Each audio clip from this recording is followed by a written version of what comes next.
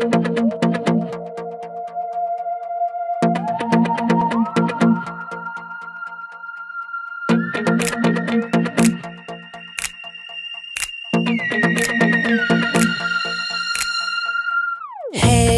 there, my name is Fresh Air. Been waiting too long.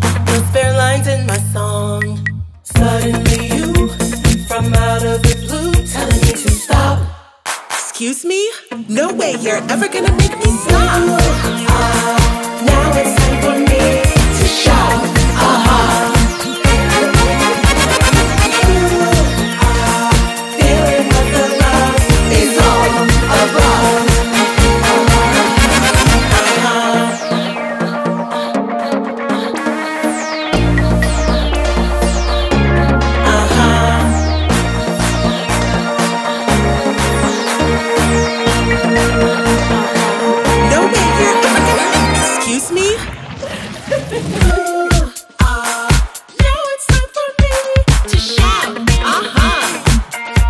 that's too